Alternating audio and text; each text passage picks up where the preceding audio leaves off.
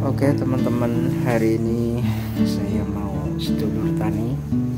Hari ini saya mau apa, menyiram ini dengan sistem manual.